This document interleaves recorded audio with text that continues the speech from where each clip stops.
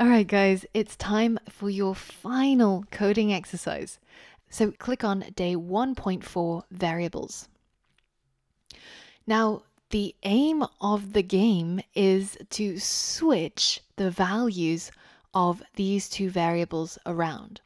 So if we go ahead and run our code as it is, it's going to ask us for a value of a, let's call it 5, and then it's going to ask us a value for b, let's call that 100.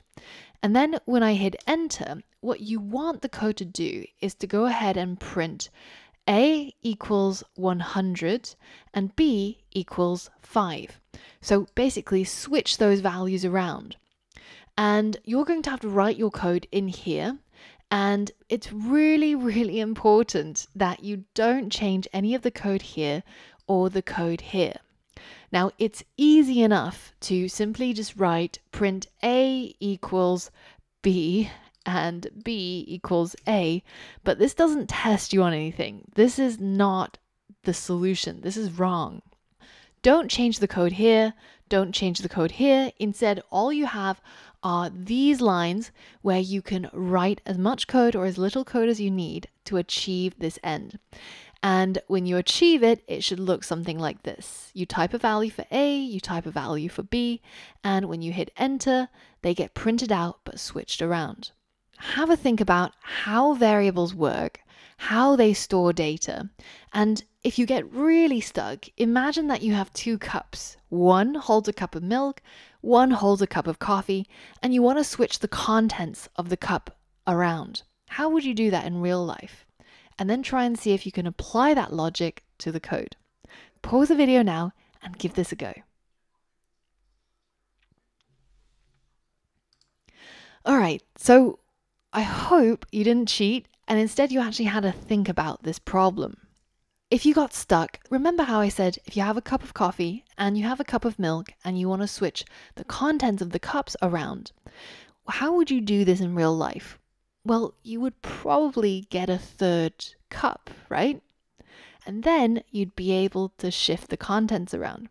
So that's exactly what we're going to do with our code as well. We can create a new variable called c, and we can set that to equal the value that's stored inside a.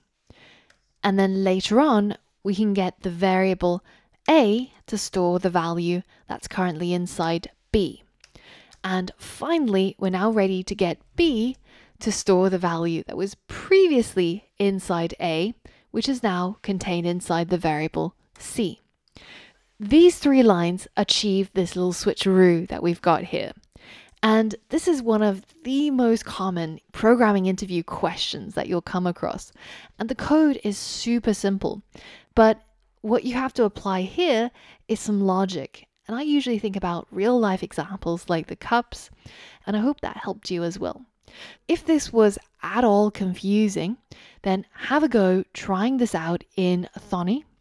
But if you got it right, then congratulations. This was actually quite a hard challenge. You had to think about a lot of things and think outside the box as well. So give yourself a pat on the back if you got it right. If you didn't get it right, then I really recommend to put this code inside Thonny and see how it's being moved around so that you really, really understand what's going on behind the scenes.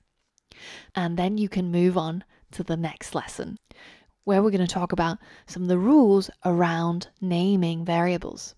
For all of that and more, I'll see you there.